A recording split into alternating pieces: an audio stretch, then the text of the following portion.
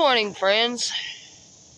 Well, I guess you could say I've been up for uh an hour.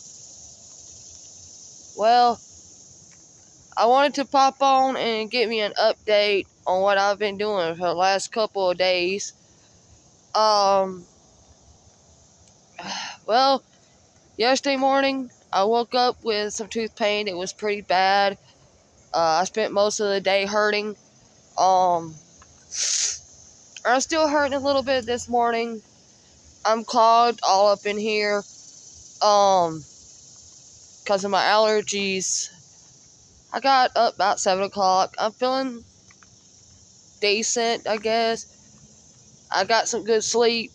Today I'm going to be working on my script for my next video, which hopefully will be out sometime today for you.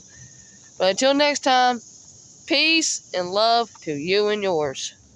Thank you for watching.